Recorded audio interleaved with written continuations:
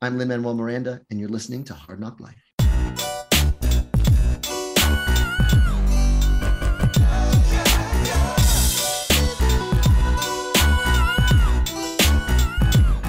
Well, it's the NOC in full color. You see me? The Hard NOC Life. Comics, movies, and TV. Yeah.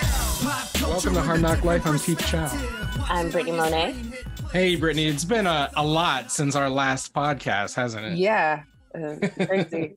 So we've been anticipating the SAG-AFTRA strike for a while now. In fact, you know, a couple episodes ago, we were like, we're recording on Friday. We don't know if they're striking. And so they finally Mhm. made the decision last week to strike. SAG-AFTRA went on strike, joining the Writers Guild.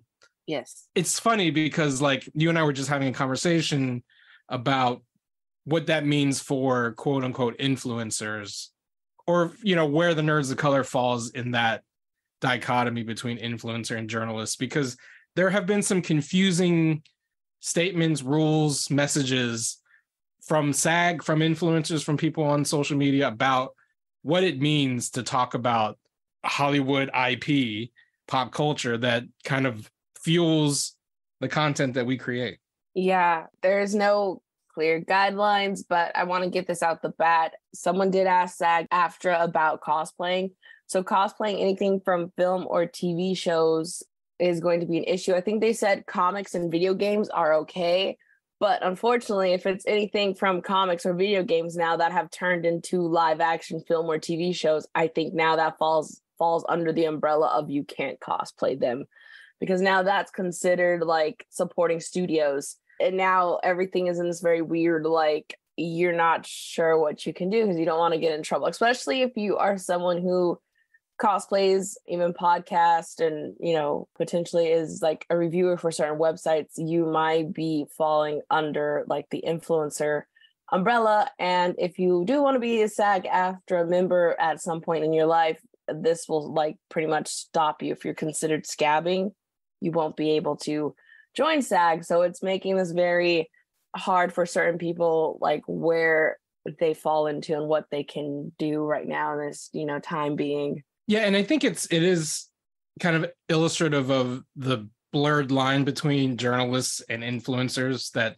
social media, YouTube has kind of created over the last several years, particularly like folks who are in the nerd space who cover the kind of nerd culture stuff that we do here at the Nerds of Color, where you're talking about comic book movies or, you know, sci-fi, fantasy.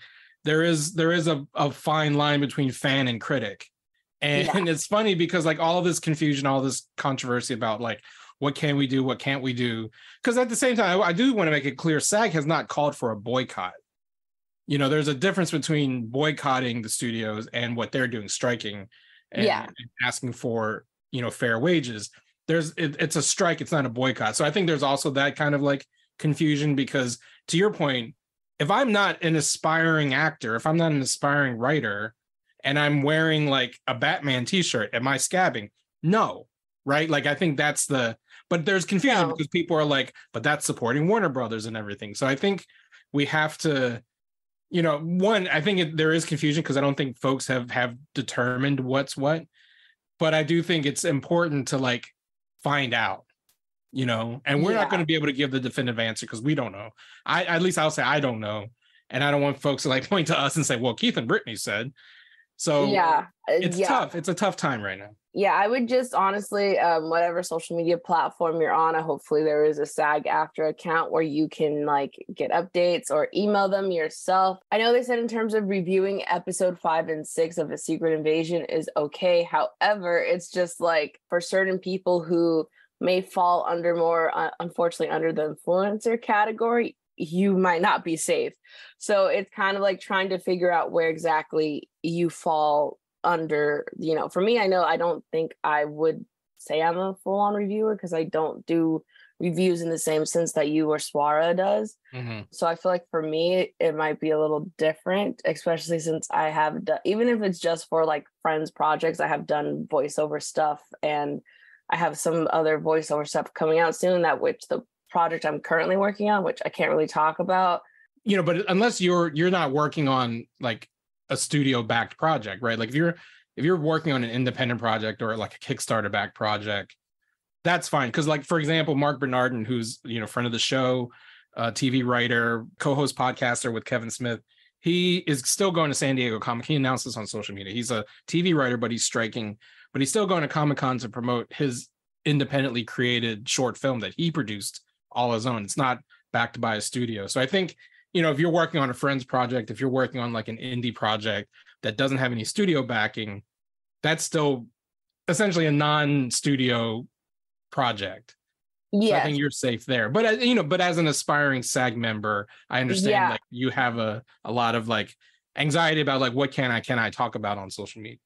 Yeah, yeah, exactly. And that's why I'm not sure with like certain things I've like, you know, done that it could put me in a, a position of like, oh, she's doing this, so it's more of an influence category than like a regular reviewer, if that makes sense. Yeah. Well, and uh, you know, I think again goes back to like that line, that distinction between fan and critic, because you know, I was saying before we started recording, the Nerds of Color was formed because it was meant to be a place where fans could critique the properties we love, right? So it's it's not the same thing as like promoting in the sense that like a studio is going to send us shit and be like, "Oh, this is great." You know, Mhm. truth be told, we've kind of like veered in some of that territory over the last several years, not calling anybody out. It's just the nature of the beast, right? That's how you pay the bills. That you're going to get invited to screenings, you're going to get invited to set visits. And, you know, I think it's important to have a voice like the Nerds of Color at those places to hold some of those, you know, properties to account, and which is again the the fundamental birth of this website 10 years ago, by the way. We're we're approaching our 10 year anniversary at the Nerds of Color was great. not as an influencer, at least not an influencer in the sense that we are being paid by the studios to influence fans to buy shit for the studio.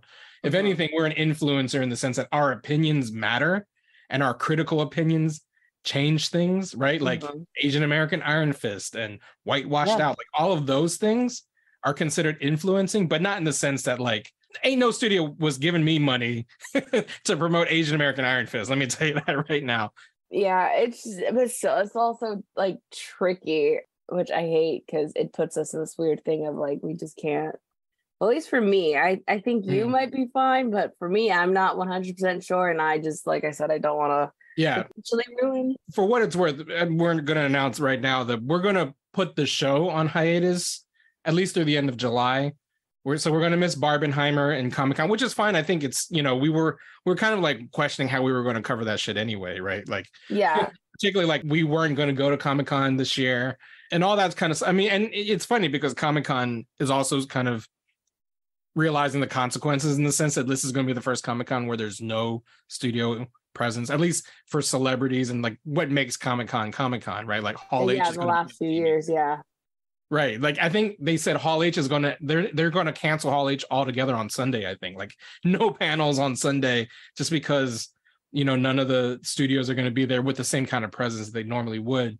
Which Yeah. you know, I think is kind of a good thing because Comic Con should be about comics, but it kind of hasn't been for the last decade. Yeah, exactly. Like I remember that Glee used to go to Comic Con and have panels. So like not not to knock on Glee because you know I've been rewatching Glee, but like it, it's just it's just interesting that you know that would be a show that would be at Comic Con. Well, it's funny because like when we first launched, when Nerds of Color first came out in 2013, like there was a question about like what kind of content would we cover because you know we're the Nerds of Color, like our focus was fandom and, and nerd culture, but it was like what what defines nerd culture? And I used to say, and this was 10 years ago, I used to say, well, whatever would be at Comic Con is the kind of stuff we would cover. And then which explains why we cover everything now because like everything shows up at Comic Con. Like to your Mhm. point, it doesn't have to be fantasy or sci-fi anymore. It could be a, a teen show or like a medical drama. It's like, what the fuck are you doing at Comic Con? But exactly. so so yeah, we we do we do broaden our horizons. But that said, we will we will take the next couple weeks off. So we're not going to cover the rest of Secret Invasion. We're not going to cover. Unfortunately, Barbenheimer is not going to be covered by the podcast. I will also I want to also make clear the Nerds of Color is still going to be publishing content over the next several weeks. There is no one from SAG or WGA calling for a boycott saying you cannot write about things. I think to me, in my mind, as the editor in chief of Nerds of Color, as long as you're publishing editorial content, opinion pieces, which include movie reviews, you are totally fine because you are critique you are doing your job. You're critiquing a property. You're not endorsing it, you're not promoting it. Right? That's Yeah. the difference between like just copy and pasting a press release or like posting on Instagram some swag box the studio sends you. You know what I'm saying? Like that is Mhm. influencer shit that we will not and i will make sure our staff knows to not engage in.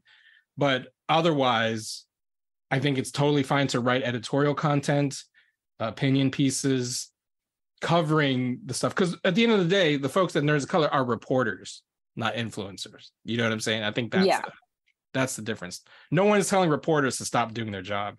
And if you want to write critical content about hollywood go for it. And I think if anything, the WGA and the SAG strikers will appreciate that, right? Because like if you want to point out, David Zaslav made five hundred million dollars over the last five years, right? Like Bob Iger Mhm. made two hundred million dollars as CEO of Disney, and is and then folks are telling, you know, Deadline and Variety, oh, we're going to wait out the writers until they can't afford their homes anymore. That's our negotiating, like, and talk about how fucked up that is Yeah. that is totally that is totally fine. I think SAG and WGA would be like, yes, please write and talk more about that. Yeah, Ron Perlman said he might, you know, there's so many ways to lose your house. So uh, don't piss off Ron Perlman. Uh, Don't fuck with Hellboy. exactly. I feel like written stuff is okay, especially if you are acknowledging that there is the strike happening um, in both guilds. I think that is okay for sure. But like they haven't made it fully clear where podcasting falls under, even if it is, I think, a podcast for, you know, your website. It's not made, been made clear. And I, I would prefer not for us to be in a situation where we're all in trouble. Well, and I think, you know, and to, to that point, we do have a lot of actor friends. You know, you said you're an aspiring SAG member. Like there are blurred lines. I also think that the podcasting question is more for like actors who have podcasts too, right? Like I'm thinking of like Michael Rosenbaum or you know someone like that who like has a podcast is like, can I still do my podcast? Well, here are the ramifications. So I think that's a different level of you know because so many people everyone got their own podcast now you know Yeah. so i think there's also that element too like the actors with podcasts can you continue doing your podcast versus like little rinky dink piece of shit like me you know what i'm saying like i don't think anyone gives a shit about me but Someone, that said you know we will we will respect your wishes and and and I, I totally understand you know especially your confusion here about like what you can and can't do as an aspiring actors Yeah, but I do like want to make it clear. As soon as guidelines are very, very clear on where I'm at and where I can be, I will. If I can come back like that, I will be back because I love doing this podcast. It's you know so much fun for me. Yeah, one hundred percent. And and like I said, you know, we will continue to cover the strike. We'll continue to co- cover things on the on the editorial side. I I may also you know release a few podcast episodes for the other podcasts that we do. I don't know. Haven't decided. I might just take the break and just take a break, right? But Mhm. at, you know that said you know if if the strike continues if if the guidelines say that you know britney as an aspiring if you want to join sag one day you can't do a podcast i totally understand that as well we will we will find ways to move move on and and and of course welcome you back once the strike you know hopefully the strike is over not so that we can get our content because like you know we love our Mhm. consuming shit. We, I hope the strike is over soon because actors and writers, you know, are guaranteed a fair wage and are not easily replaced by robots and you know can afford healthcare. Like that's that's what this is all about. This is not about like, you know, I've seen I've seen a lot of rumblings from people, especially in the fan space, who are just like upset that Deadpool got shut down or like you know what I mean, like you know Yeah. like th- there are all these like you know we talked about last week like the set leaks from you know wolverine or whatever and now people oh but they shut it down and it's like it's bigger than just i mean part of the problem is fans who are like all you care about is like you know celebrating fox's acquisition by disney rather than like thinking oh shit this just means the rich are going to get richer and the poor are going to get poorer Yeah, exactly. A lot of people have a misconception too that just because someone is on film or TV, that you know, especially as actors, that they're all rich, regardless if right you know they have one speaking line or they have like you know um, all of them that's a huge misconception. It's only 1% of actors and actresses who make the kind of money where they can, you know, go a while without like having jobs back to back and be fine. Most actors are working paycheck to paycheck. And I know a lot of people were making fun of Sydney Sweetener or however you say her name. Sweeney, Sweeney, yeah, yeah. That like, you know, she said that she cannot afford to take like even a six month break from work. Which, you know, for some actors, it seems like that's what's going on. But the fact that, you know, she's making it clear is because, you know, what act what it says what our actors net worth is not their actual uh, net worth even like the really crazy rich ones that's still not their net, net worth because it's not taking into account the money that goes to their agents. If they have lawyers if they have publicists if they have a stylist like all of that unfortunately comes out of their paycheck. So that is not the money that they are taking home at the end of the day. And then it doesn't include like any of the money that's just being taxed too in general. I read like the average salary because the thing too, like Mhm. acting is not like a nine to five, like where you you just here you make you know forty thousand dollars a year. You know, it's like you said, it's it's basically you're just freelancing from gig to gig. But Yeah. like if you average out all actor salary, the average is like twenty nine thousand a year, Mhm. which is like you know, first of all, it ain't cheap to live in LA or New York, right? so if you you're an actor making 20 grand, you're not, you know, you're gonna have to have several side gigs just to pay the rent. You know what I mean? exactly. That And and that's the thing, like, you know, there was a an article about Orange is the New Black from Netflix, you know, that that show that came out 10 years ago, and how none of the actresses on that show, even though it was like a big hit for Netflix, could like afford you know to pay the rent even though they were on one of the biggest shows on streaming because part of the problem part of the reason people are striking is that the streamers have made residuals obsolete have made ratings opaque so you don't even know how many people are watching and how Mhm. much you're owed you know because that's the thing people don't realize like the the way folks used to make money being on TV or being in a movie is that okay you get your you get your upfront fee whatever that even if you're Tom Cruise or you're like the extra you get Mhm. uh upfront fee you know 20 million dollars or a thousand dollars whatever it is you get that. And then depending on the deals you make you get a residual check every time that show comes on TV every time that movie's aired on HBO or TNT every time it comes on you get a residual. And that residual could be a hundred bucks it could be thousand dollars it could be 10 cents but you get something yeah. know, like my friend Perry, who's an actor, Perry Shen, who was the star of Better Luck Tomorrow. He's done a lot of like TV roles. He used to post like images of like the paycheck when like the guest spot he did on The King of Queens would would air, and he would Mhm. get like a check from CBS for like five cents, but at least it's a check. you know what I mean? The, yeah. check, the paper probably costs more than the actual check. Unfortunately, I mean, there are, you know, streaming has really made it hard because I don't think people are getting the amount that they should be. Like, there's Right. probably more people watching those episodes and rewatching because, like, just think about how many times I've rewatched Lost is just like, Well, you know, someone made the point just today because Disney announced Ms. Marvel was going to be broadcast on, I don't know if they said Disney Channel or ABC or whatever, but they're Yeah. actually going to show Ms. Marvel on broadcast. And someone tweeted for the first time, the actors from Ms. Marvel are going to see residuals because airing it on ABC or Freeform or whatever like broadcast channel it's going to be aired on, you're guaranteed the residuals. But that show's been streaming on Disney for the last year and you're not seeing any money for it because again disney's just hoarding all that information to themselves they paid you what they paid you that day your day rate or whatever but all the back end stuff you ain't seeing a penny because Yeah. know. And it's like you could have had like say 20 people rewatch Miss Marvel like five times each and you're not getting paid for those even though it's just 20 people who rewatched it they watched it five times each you're not getting your paycheck for people who are keep rewatching your work like how it's supposed how it's supposed to be. And that's why also there was this huge fight with like you know Scarlett Johansson and Disney Plus about you know the movie moving over to Disney Plus and how she wanted she was like I deserve a bigger cut and Right. as much as I'm not a fan of her as an actress and blah blah blah whatever, she's right though. She did deserve a bigger cut. It- so it's just a whole like complicated and messy situation where actors, regardless, and she's someone who makes you know probably really a decent amount of money, but even her, she's still not being treated right and not being compensated fairly. Like, Yeah, I mean, and that's. At the end of the day, like what the strike is about. To your point, people just see the big names and say, like, why why would a Scarlett Johansson or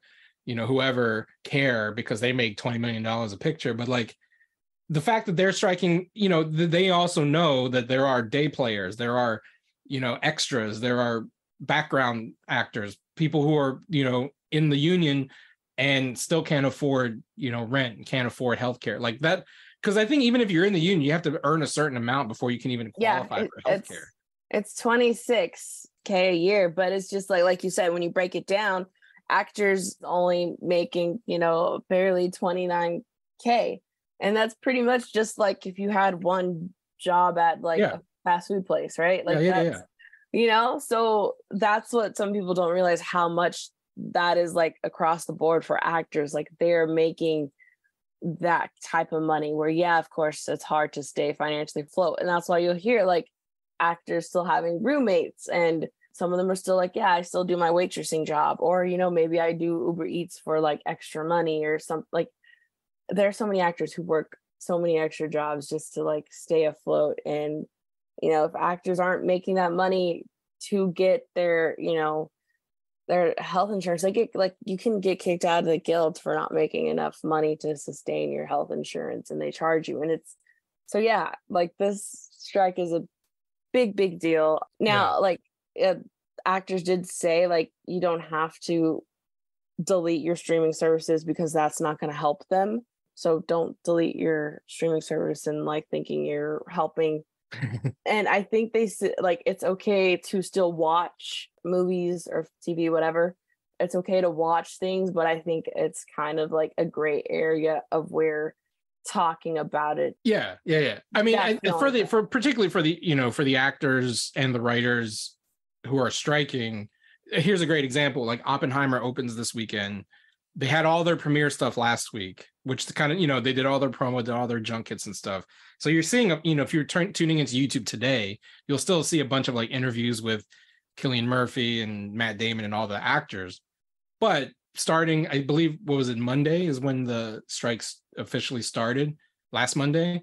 It was, you know, from that point on, no more publicity. So like they were having their London premiere when the actors all were all on the red carpet from Cillian Murphy to Emily Blunt to Robert Downey Jr. all walked the red carpet.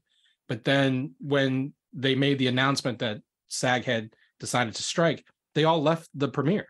Mhm. So Christopher Nolan even made the announcement from the stage that the cast had walked off.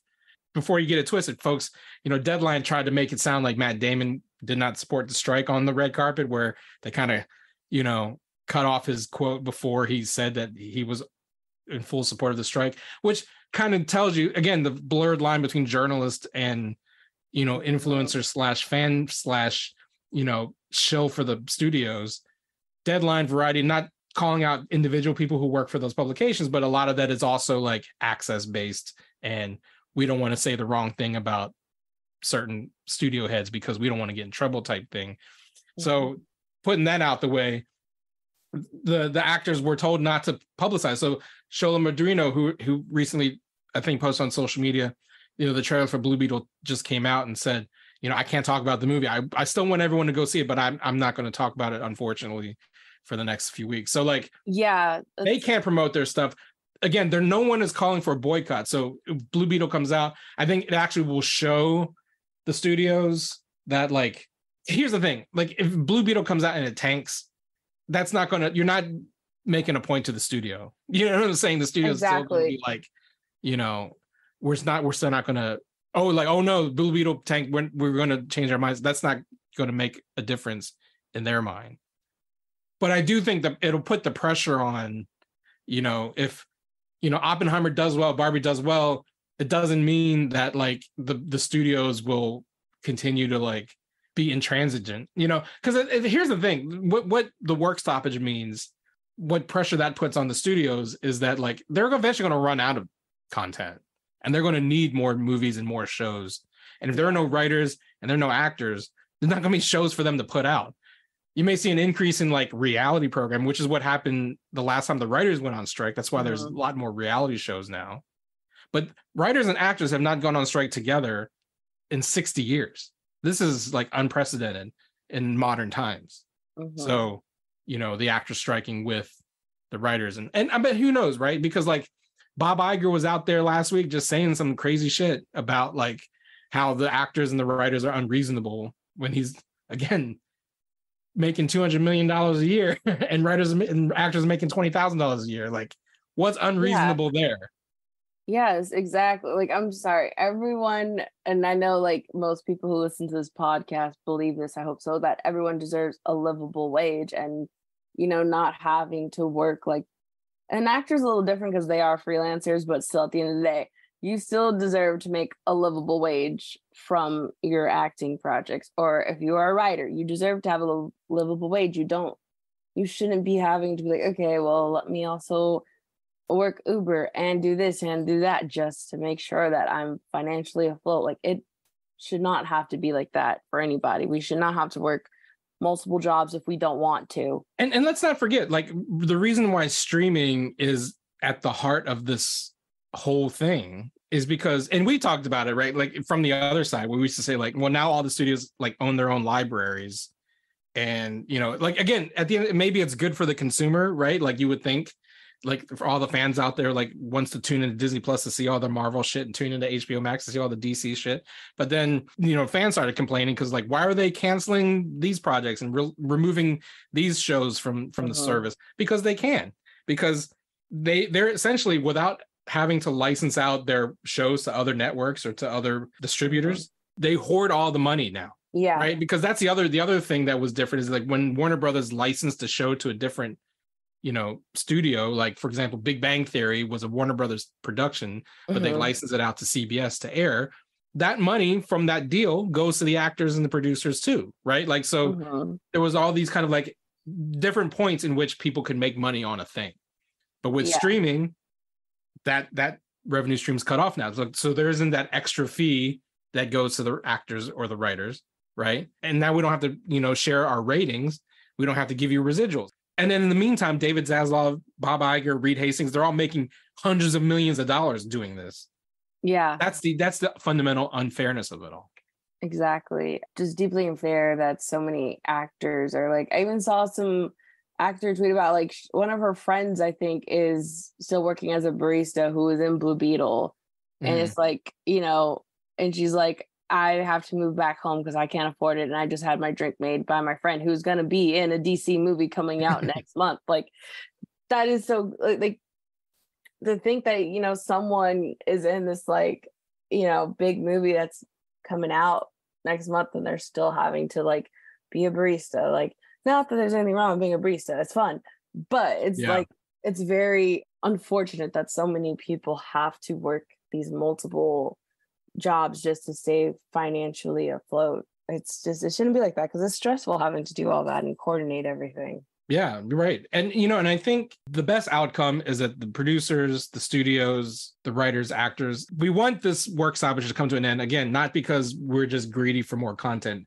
We want it to come to an end because that means the writers, actors, and studios have come to a, an agreement that fair wages, healthcare, you know, not replacing people with AI. Did you see the story about like one of the proposals was that AI they they wanted to be able to scan your face if you're like a Mhm. background person.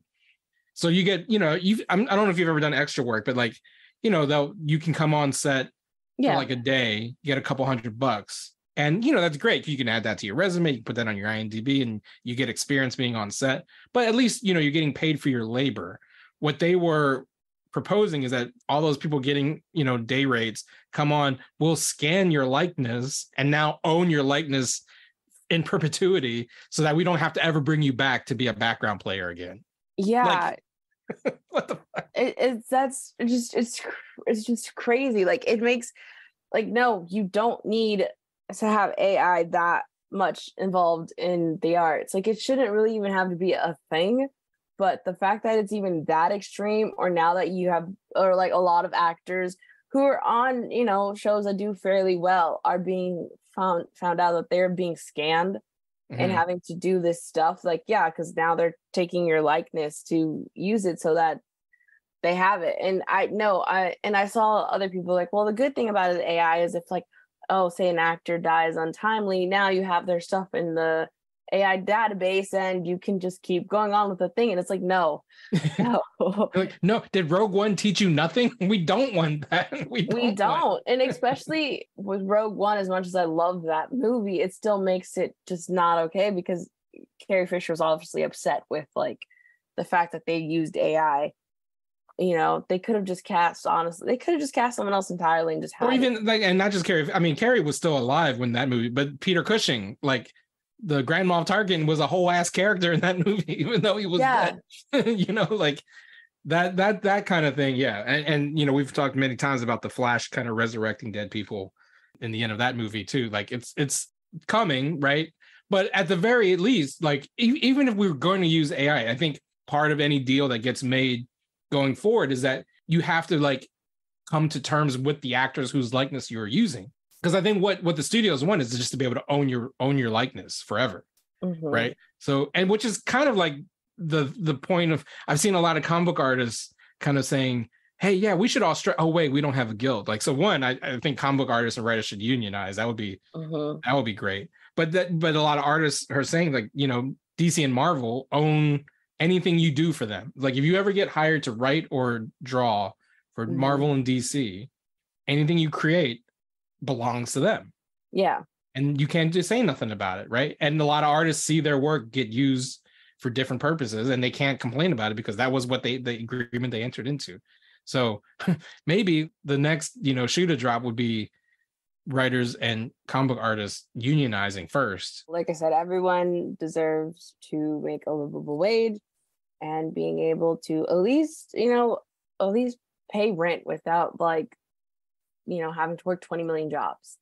Like, yeah you know, it's just inflation, everything. It's just, it's terrible. And something needs to change across the board, not just in the, you know, entertainment industry, but like everywhere. It just, everything needs to, well and and you're seeing labor labor stoppages happening in in multiple industries right like i think as we're recording this uaw is going on strike there's a potential for the ups workers to go on strike so like i think as you see the inequality rising and and again the the gap is between the the the ceos and the people who work for them it's Mhm. just gotten bigger and bigger and bigger. Because here's the thing, like, you know, there's a case to be made that capitalism is the root of all evil, and that's the reason why we're in this predicament.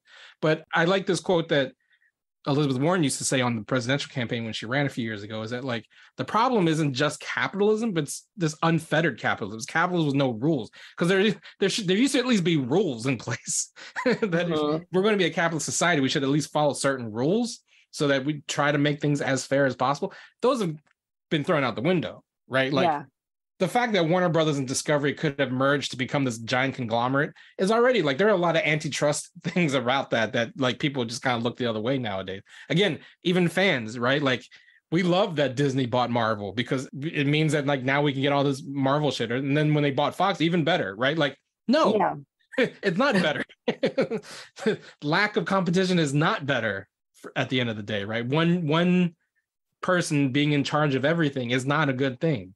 No, it's That's not. we need I to mean, come back to. yeah, I understand in terms of like, hey, all the Marvel characters are now uh, in the same house for the most part. Like, I, but still, it's like, it, it's not the only thing was that acquisition was not just acquiring the Marvel comics, it's literally everything that Right. Fox has. So it, a lot of people lost jobs and a lot of things were cut. And, you know, now they're making even more cuts. And the fact that Disney is pulling stuff off of their platform, it's crazy. It's because again, they're trying to avoid as much as possible being in the whole like residuals and paying people. So they're pulling stuff off. Like you're not gonna have those shows that, oh, that show has a cult following. Like right. it's it's not because it's it's gonna be gone. you can't find and you know you and I are proponents for physical media. Like when you're solely relying Mm-hmm. on streaming, and and you know the the big boss says I don't want to make that available anywhere. No one will ever see it. Like Batgirl is never going to be seen as long as David Zaslav is alive. No one's ever going to see Batgirl, right? Because of a tax write off. Because that Yeah. means I can hoard more money for myself. Because because Exactly. you know like people say, well, you know Leslie Grace, Brendan Fraser, they got paid for. it. What do they care? they got that one payment for it. But when you enter into a movie, like I said earlier, it's not just that upfront fee that you get for being in the movie, right? Like there's also mm-hmm. like you get money for when it's distributed. You get money for when it's sold, you know, the theatrical release versus the home video release versus TV rights. Like all those things and, and Yeah. merchandising, right? Like all those things are not available now to those actors because the Exactly. CEO said, "Nope, I want to I want to write down for my own tax write-off." Yeah, and then like I said, and then again, those actors, you know, their money still gets taxed, and then they still have to make sure their agents and managers and publicists all get paid first. Like all of their money goes to all of that first before they get to keep any of it. And speaking of DC, like I still wonder, you know, right before the strike was announced, James Gunn had a flurry of casting announcements, right? Like we already knew about Dave Corenswet and Rachel Brosnahan a couple weeks Yeah. ago, which was kind of weird. Like the way they announced it was just like a variety drop, and it wasn't any kind. Of, you know, we you and I suspected, well, they're maybe anticipating a strike, so there won't be like a Comic Con presence, which is Yeah, kind of how it's played out. But then last week it was like, here are all these random superheroes that are going to be in Superman Legacy, played by like Nathan Fillion, Isabella Merced, and it was just like, why are they announcing all these now? You know, and yeah, it got me wondering. Like, I'm still kind of like suspicious of uh James Gunn because he is part of the WGA, right? He's Mhm. a writer, he's a screenwriter, he's written all his movies, so he's got to be a member of the WGA. But he's also a studio head. So, like, what kind of predicament is he in? You know, we we made this joke a couple weeks ago when the WGA went on strike. Like, Mhm. can James Gunn stop writing Superman Legacy? Like, if he makes a tweak to the script, is that considered scabbing? You know, all that stuff. But now Yeah. also like casting these actors and like he hasn't said anything about either strike. And it's funny because his brother Sean has been very vocal. oh yeah, extremely. But James still hasn't said anything. And I'm just kind of like, and his wife is an actress. Like, I would just wonder what is it because he's like, you know, beholden to David Zaslav, which is Probably. I But, 'cause but I- that's kind of problematic too, you know? I, I feel like he's probably in a position where he can't say anything, even if, and uh, you know, maybe I am wrong about James Gunn, but I feel like he would be in support of his brother and would want to speak up about all the like You mistreatment would think. on both sides. But it's just, I don't know if he can now because of he's now a studio head. So it's just like, I, But that's kind of fucked up. It's it's Yeah. almost like who which side do you want? are you getting are you striking or are you getting struck again? So it's like whether or not Superman Legacy comes out in 2025 is beside the point, but I do think that could be a consequence because you know, the last time the just the writers went on strike in 2007, that upended a lot of projects that were supposed to come out. So the actors and the writers going on strike, uh, you know, just don't don't put in stone any movies that are announced for 2024 and 2025 is all I'm saying. Yeah, it's a good chance that they will not happen. Mm, The only things that are currently safe is animation. mhm. but that's it. I don't know why animation isn't like following under it because they still use actors' voices and it's still being Well, I think maybe because the actual animating, like the people drawing the scenes and and that the VFX stuff is probably safe because their their union isn't on strike. But like to your point, you know, I think with animation too, the writing gets done ahead of time because you can't which Yeah. is which is kind of like what was fucked up about across the Spider-Verse apparently. You, you know, a story came out a couple weeks ago about how Lord Mhm. Miller were like rewriting the movie after a lot of the animation was done and then like put the animators kind of like pressured to to Yeah. complete you know which is which is not the same as like you know filming actors because like animation takes so much longer to like if you just Yes. trash completed sequences that's a whole lot of manpower you just wasted. Mhm. and and you know it's funny because i was i was reading about lord miller's solo you know how they got fired off solo. And a lot of that was because like you know the, the way they improv and like rewrite on set is kind of like their signature. But that's kind of why they got kicked off of solo because they were coming in over budget because they were taking too long to make the you know, movie. And it was just like you know that kind of sounds like the problem with spider-man but it's, it's infinitely more pro- problematic with animation because it just takes so long to do but anyway just wanted to put this episode out to let you guys know where we stand on the strike and, and of course britney you wanted to express your concerns about like how you fall under the like the influencer slash journalist slash podcaster space. I think end of the day we don't know. Yeah, we don't, uh, but I just think it's safer for right now until there's more clear guidelines We'll take a break. that I'm, uh, yeah, at least for me, for sure. I mean, I am still seeing Barbie and Oppenheimer. uh, I just can't, like, I don't even know if like expressing my thoughts will like cross over. So it's so like, I don't know where I even stand on any Yeah. of it. So I am seeing the, the movie, I am doing the double feature, but yeah, I won't be able to probably talk. I won't probably talk about it publicly. So if you guys want my thoughts, I'm so sorry. yeah. Well, if they do want to get in touch with you and maybe talk about the strike, how can they find you online? You can find me at Hi Britney Monet on Twitter, Instagram, Hive, Tumblr. That's pretty much it because I don't even know if I can promote my other podcast now. so Well, if you're going dark on both podcasts, I guess not. yeah. In the meantime, follow me on Twitter at the real chow, the underscore real underscore chow, and on Instagram and threads at real Keith Chow. Follow the Nerds of Color at the Nerds of Color on all platforms. We are going dark on our podcast, but if you want to continue supporting our site and our channel, go to youtube.com slash nerds of color, watch our videos, subscribe, go to patreon.com slash nerds of color and consider supporting us there. If you want to continue the work that we do, even though the podcast is going to go away for a little bit, we still are going to be putting out work and you can continue supporting us. And until next time.